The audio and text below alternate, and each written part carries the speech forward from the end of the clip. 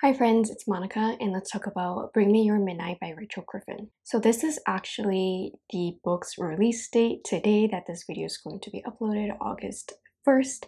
So happy publication day to Bring Me Your Midnight. This one is a YA fantasy romance and it is a standalone which is a plus.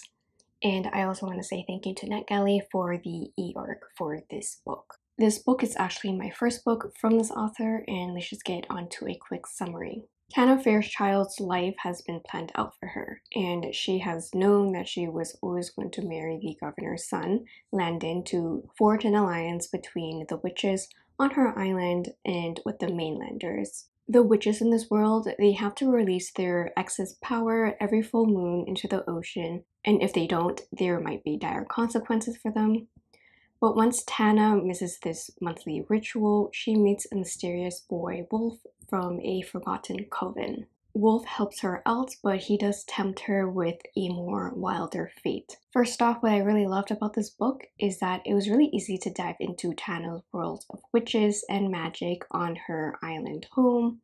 It was very atmospheric with poetic writing, but not overly so. It was very easy to get sucked into this book. I also liked how the magic system was set up with the witches needing to release their power each month or they might be at risk of dying.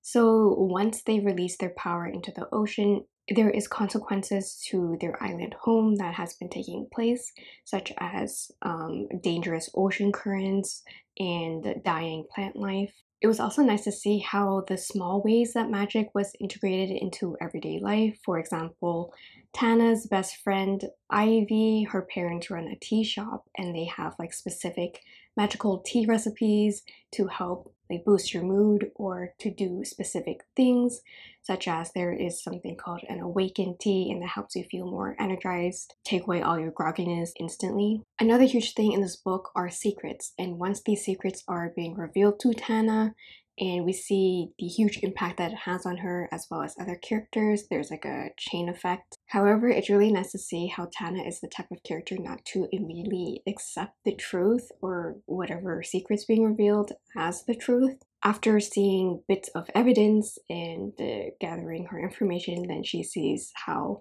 these secrets are actually the truth and I do like that about Tana and that she does have a normal reaction to having her entire world upended. Lastly, I really enjoyed the themes of sacrifice, upholding your duty versus pursuing your own passions, and also the risk of falling in love.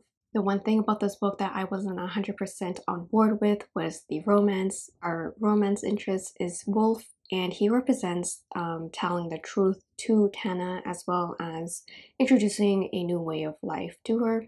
I did like this aspect of his character of showing the ways of his coven to Tana and being very open about that. What turned me off was that some points they would be communicating telepathically and it would be randomly at midnight they would be calling each other's names and I was like, oh, this really plays into the huge mysterious aspect of him. The main factor that did turn me off was that this romance ended up being kind of a Romeo and Juliet situation, which I do like that type of trope, but I think in this one it just didn't really work for me. Although with their relationship, they have a very strong bond and a strong commitment to each other despite their troubles in the end, I really did like their high stakes nature of their romance. But in conclusion, I did end up rating Bring Me Your Midnight 3.5 out of 5 stars. This is a very nice YA romance fantasy and it has a lot of witchy vibes. It's very atmospheric, set on an island. There's also that high stakes romance that is very addicting to read. Although this book didn't blow me away, I do have to admire the author for bringing what she did into this book. I would recommend this book to younger readers and if you're looking for something to read in the fall since that is fast approaching. I really do hope you enjoyed this review. It was short and sweet, and I hope you can also give me a huge thumbs up, hit that subscribe button down below, and don't forget to ring the notification bell to not miss any future uploads.